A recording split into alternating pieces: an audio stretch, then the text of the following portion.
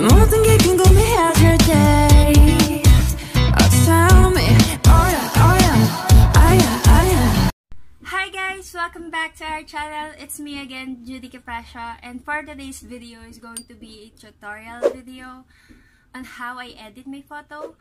So, syempre, kahit ganun nakaganda yung camera ng cellphone natin, gusto pa rin nating mapaganda or mapa-enhance yung uh, quality of the photo. So, ngayong araw na to, isi-share ko sa inyo kung paano ko uh, pinapaganda yung mga photo ko na ina-upload ko usually sa My Day ko. And nag-upload kasi ako sa Facebook, uh, konti lang. So, uh, lagi ako nag-upload sa My Day. So, as you can see, yung in-upload kong last, yung merong uh, before and after, makikita niyo yung quality ng cellphone ko. Uh, ah, 16 megapixel na yan pero 'di ba makikita niya madilim tapos yung uh, skin tone mo hindi hindi ganun kaganda. Parang nagmumukha kang maitim. So kahit uh, hindi siya uh, ang tawag doon uh, hindi siya um, ano ba yun? tawag Nalimutan ko. Yung pag nagpipicture ka na yung araw nakaganon. Ano tawag din?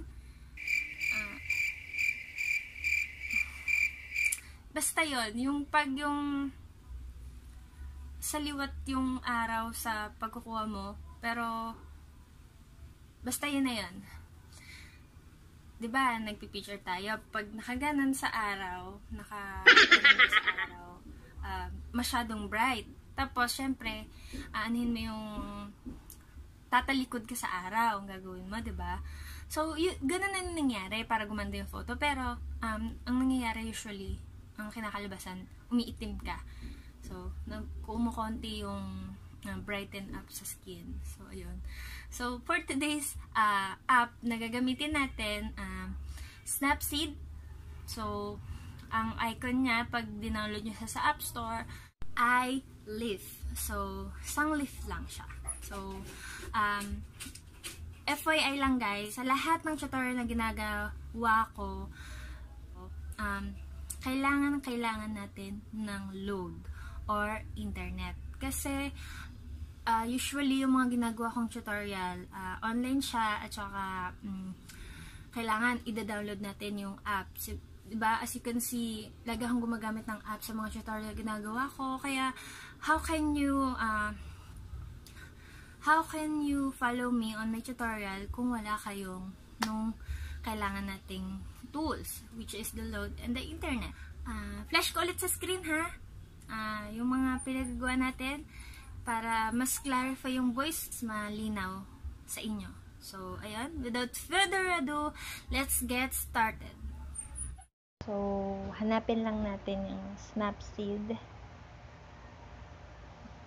Yan. Pili lang tayo ng picture na edit natin. So, yung flash ko na lang sa screen yung gagamitin natin photo. Saan na ba? Gallery. Camera. Ayan. So, let's start. Tools. Tune image. So, brightness. Lagyan lang natin ng konting brightness. Kasi ang bright na nung likod eh. Yan. Tapos, contrast. Ito yung konti. So, mga 50. Yan. Ambience. So, pag yung ambience, uh, tinodo nyo, mas gumaganda yung quality ng picture. So, yan. Pero, dito sa picture na to, hindi ko masyadong itotodo sa 100. 50 lang. 50. Yan, 50. Highlight. Pag minus highlight,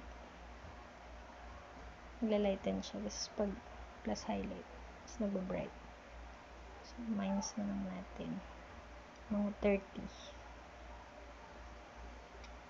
Shadow pangit tong so paminus lang natin mga 2 lang Yan.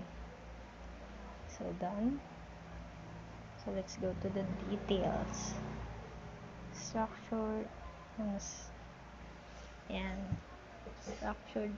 Inana niya. Parang sinasharpen niya yung ah, object ng photo. Or yung subject ng photo. Tapos, pag main structured, sinasoften niya naman. So, parang mas maganda, soften na lang. Lagyan natin mga 10. Tapos, sharpen natin mga 10 din. Ayan. Tools. Curves. So, pag green, enhance nyo, enhance nyo yung kulay ng mga leaves, mga trees.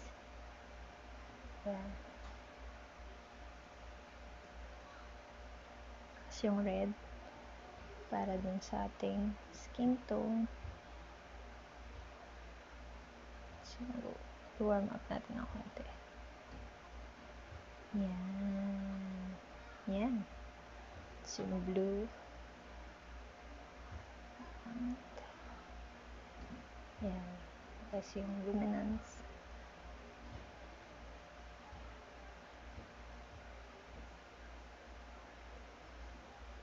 Okay. RGB.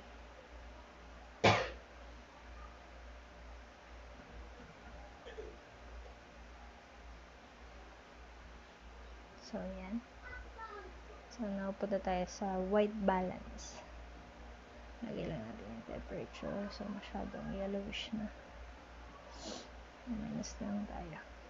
Mga 3. So, 2. Okay na yan. Tint. Ayan.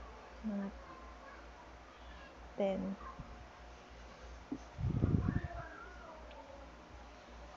So, HDR. So, you can see, ayan. Lagyan natin sa 50. Tapos, tignan natin. Fine. Strong. People. Nature. So, bawasan natin. Masyadong strong. Yan. Then, punta tayo sa tools ulit. Then, greeny film. Ayan. And that's it, guys. Minus lang natin ng konti para hindi masyadong mga 10. Ayan. So, ayan na guys.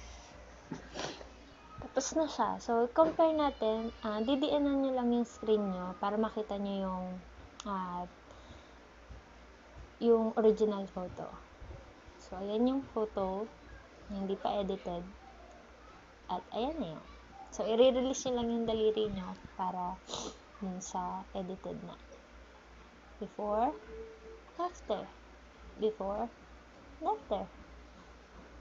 So, ganda ba guys? What do you think? It's so Instagrammable, diba? Kaya love na love ko yung Snapseed. So, ayun na nga guys, we're done with the tutorial. Sorry for that. So, kung nag-enjoy kayong panoorin yung video na to, don't forget to hit the thumbs up button and consider subscribing to my channel para sa iba pang tutorial na gagawin ko. And,